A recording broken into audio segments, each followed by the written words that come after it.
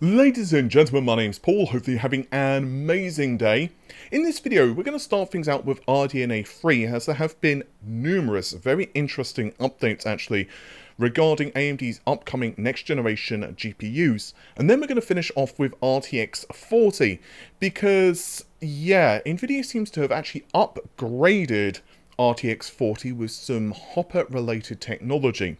So we'll be finishing the video off with that, but first, just a quick message from this video's sponsor. If you're running a copy of Windows 10 which isn't activated, of course, not only do you have to worry about the missing customization options, but there's also that annoying Windows desktop watermark reminding you to activate. Today's video is sponsored by WhoKeys.com, and they've an excellent price on Windows 10 Professional as well as Home Keys. Yeah, and they also of course sell games. I've bought a few Windows 10 keys with my own personal account to test everything was legit and worked in preparation for this sponsored video. You can pick up one of their keys for 25% off using the coupon code RGT in the checkout. There's links to their website in the video description. Also, if you're building a few systems, there's bundles available too. Again, you can check out whokeys.com and use the coupon code RGT for 25% off the listed Windows 10 key prices. I think RDNA 3 is perhaps one of the most anticipated architectures in GPUs for a long time now. RTX 20, because it was bringing ray tracing to the mainstream, was also talked about extensively, but RDNA 3 just seems to be ticking so many boxes. It could be the first time that AMD has the performance crown, although as always that's with an asterisk and also the fact that it's going to be chiplet based. Now, this is not the first chiplet based GPU ever, but for gamers anyway, for high performance graphics, this is going to really usher in quite a new age and give us a hint of what's to come in the future. Now, recently, Greymon on Twitter was stating that some of the performance information that they'd leaked regarding RDNA 3, specifically the N31 SKU, was actually incorrect long story short, they were claiming that uh, we're going to be seeing around 2.5 to 2.6 gigahertz back in the day, and now this clock frequency has been upgraded to closer to 3 gigahertz. And I have to say that this matches some information that I put out a couple of weeks or so back um, with specific N31 flagship SKUs, which were going to be around the 3 gigahertz range. Now, I want to stress that at the end of the day, the TDP for these cards, for the um, N31 SKUs, just to be really clear, is 375 to 450 watts. I believe, so far anyway, that the 450 watts will be for custom designs. Now, obviously, this is probably going to mean that those custom designs are able to go higher in their frequency. Just also to be doubly clear, this is for the game clock. This is not for base frequency. I've actually received a couple of very interesting updates for N31. The first of which is that, yeah, 3 GHz is almost certain at this point. Numerous other sources have reached out to me and essentially told me that 3 GHz for N31 is going to be pretty easily. Now what I'm not so certain about is whether it's 3 GHz or just over 3 GHz because frankly at this stage I've received both figures. It could be again depending on whether it's a custom design or not, I'm uncertain, but quite frankly, the clock frequency of this GPU is going to be absolutely just, it's just going to be insane. I'm also hearing that the memory is going to be 21 Gbps, with most likely, it seems that my earlier information of 512 megabytes of Infinity Cache does seem to be accurate. So it's going to have a crap ton, that's a technical term, of Infinity Cache thrown on die, which obviously is going to be powering this thing. Given it's not going to have a ton of memory bandwidth because we're only running with a 256-bit bus. This does make sense to me. Now, a couple of other small things. 256 shaders per work group processor has been announced and well not not officially announced but it's been leaked for so long now but to my understanding, this doubling of stuff, quote unquote, within the workgroup processor seems to extend beyond just the shaders. I'm even hearing things which are related to ray tracing. I've also seen a doubling as well. Now, bear in mind that we're also most likely looking at updated ray tracing intersection uh, hardware. RDNA 2's ray tracing stuff it wasn't the best. Let's just be honest. There's a reason, for example, that Xbox Series X and PlayStation 5 are kind of struggling with a lot of games. Um, yeah, you guys know the story. So for AMD to update A, the ray tracing IP within the GPU, and B, also just add more stuff within it to improve the performance. That all just makes sense to me. Now, switching gears to N33, and then we'll talk about performance targets. For N33, um, I'm hearing it's going to be even higher with clock frequency. Now, this is going to be a monolithic design, and it will be produced on the TSMC 6nm process. Again, no new information there. I am hearing, though, that the clock frequency for this card is absolutely just rapid. Um, so I had in another video leaked that it could be over 3 gigahertz, and my updated information, yeah. Um, with game clock anyway, we could be seeing well over 3 gigahertz, like well over 3 gigahertz. Um, I don't want to give the specific number at the moment because I've received like two or three. Um, and I'm not certain whether that's overclocked or not, but I can tell you guys that if AMD actually releases this silicon, how the design targets basically, if they basically if they match the design targets I've been hearing with the clock frequency, we're going to be seeing, like, I can't even imagine what this thing is going to be capable of in the hands of overclockers. Like, it's going to be hitting GPU world frequencies. Um, there's not much else to say. The clock frequency is going to be well over 300, uh, sorry, 3000, not 300, 3000 megahertz. Like, I don't mean like 3100, I mean well over it for N33. And the Infinity Cache is going to be 128 megabytes. I'm almost certain at this stage. It's going to have 256, uh, sorry, 128, excuse me, 128-bit bus, but it's going to have 21 GBps memory. So not much changed in terms of the memory configuration that I had previously, but I did want to mention the performance because there's been a lot of discussion over the past few days regarding the performance. And I believe at this point, for raster performance, we will be looking somewhere in the neighborhood of around 2.6 to 2.7, maybe, times faster than the 6900 XT. Quite honestly, I've received several different performance results. I've heard, uh, sorry, performance targets. I've heard 2.6, 2.7, 2.8. I'm going to say 2.7, um, but compute, it's going to be well north of that. It's going to be over three times because you can just do the math. It's got like over 15,000 shaders.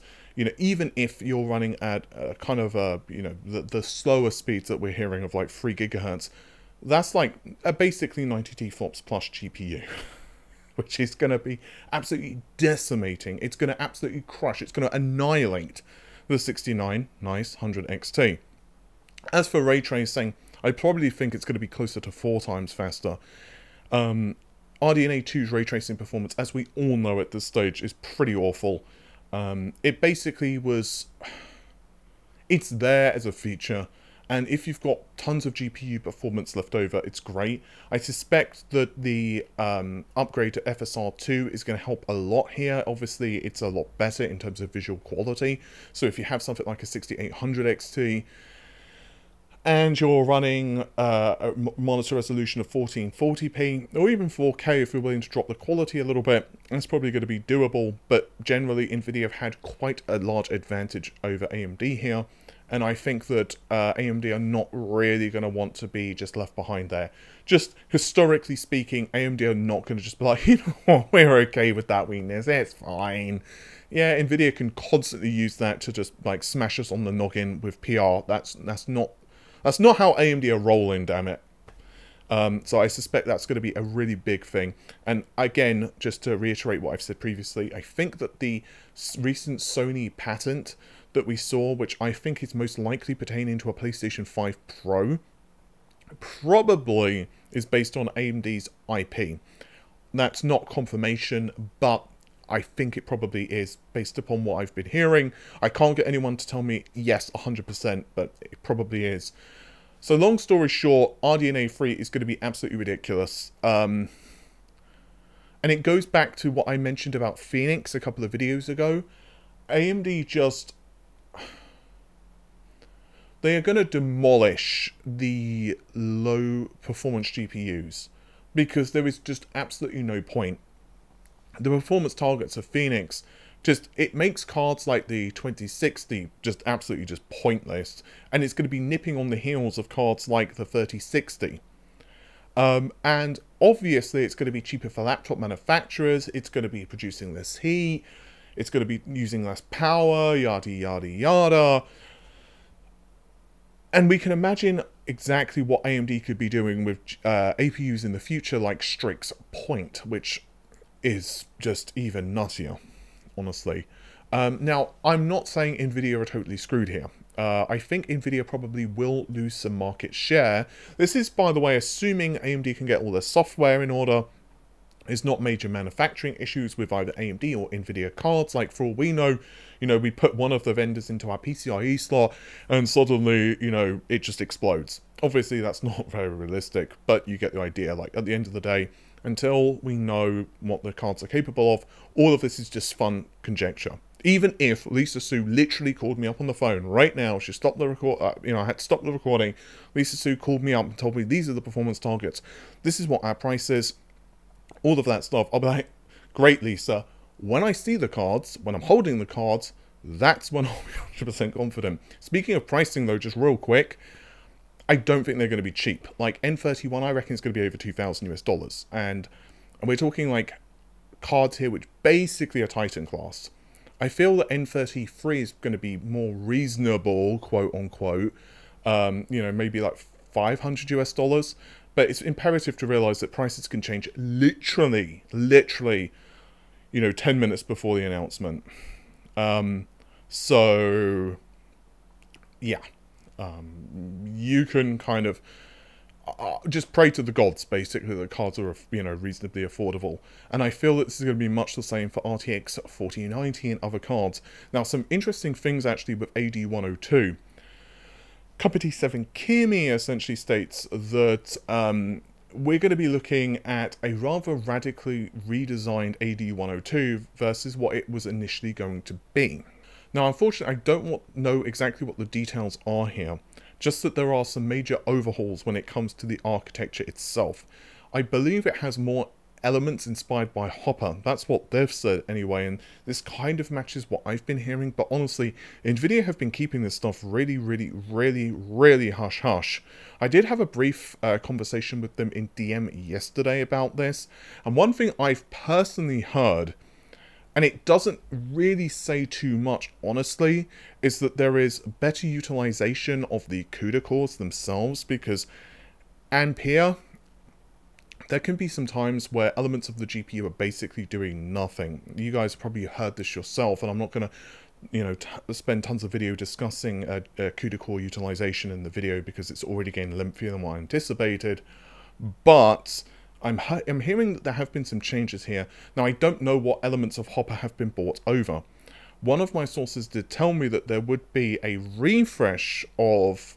Um, wow, my brain has just gone completely blank. refresh of Lovelace. So many Blade code names going through my head. But I heard that that was going to be later and it would have perhaps a different caching structure. So I don't think that's actually what's being referenced here. I could be wrong. Ultimately, I don't think Nvidia are just going to be going down without a fight. I suspect that this is going to be a really, it's going to be a really tightly fought battle. And I'm sure that people are going to say, well, yeah, but Nvidia are like 600 watts. Is it?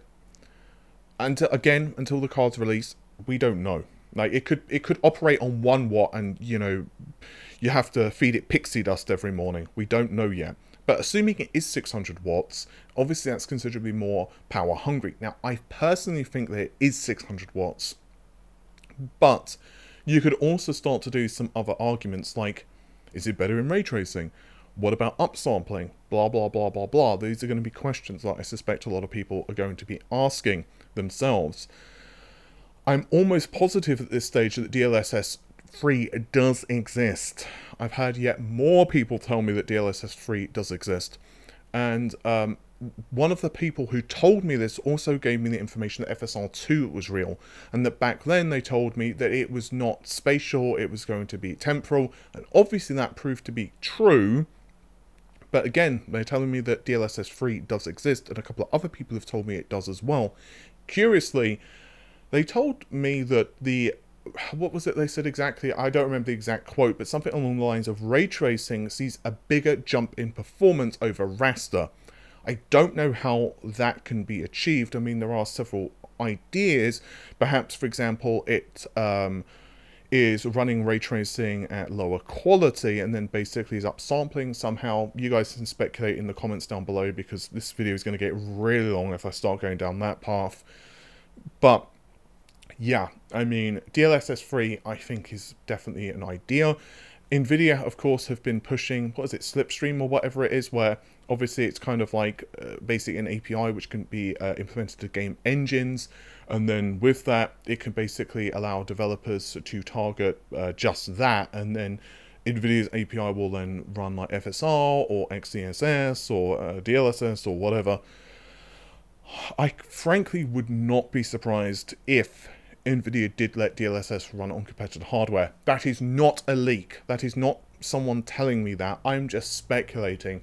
Because if I were NVIDIA, I would not want XeSS and FSR to get more adoption. And one of the ways they could do that is to basically just let DLSS run on competitive hardware and it could run on, you know, specific instructions depending on the other vendor but obviously it would still run faster on NVIDIA's own stuff, or perhaps it would be more accurate, or whatever. Uh, maybe every, like, you know, 30 seconds on a competitor hardware would be like, see, you should have gone with NVIDIA. You know, it'll be like a flashing sign. Frankly, I don't know. Uh, again, I'm not pushing that as a leak. All I know is that NVIDIA would not want to lose DLSS as a selling point in the market. It would not want FSR2 or um, XeSS or whatever to become the de facto standard. And don't forget that it's not just those. You've got Unreal Engine, which is pushing its own upscaling technology. Obviously, Sony. I'm sure Microsoft eventually will weigh in on this as well, because why the hell not? You know, but it's it's going to be an interesting one. That's all I'm going to tell you guys. Like, I'm really interested to see what happens with the upscaling battle. I feel that NVIDIA and AMD and Intel are going to be pushing this extensively. It's going to be also really interesting to see how laptops are marketed with all of these different solutions as well, especially because AMD and Intel can offer all-in-one. Um, and obviously Intel can essentially sell a kit, for example, to Dell. That's a lot of potential revenue that NVIDIA could be losing. So I'll be very interested to see what NVIDIA's um, answers are to that. Let's just say that. I've rambled way too long. Um, hopefully you've enjoyed the video. If you have, you know what to do. Leave a like here on the video. Take care of yourselves. Have an amazing day. Bye for now.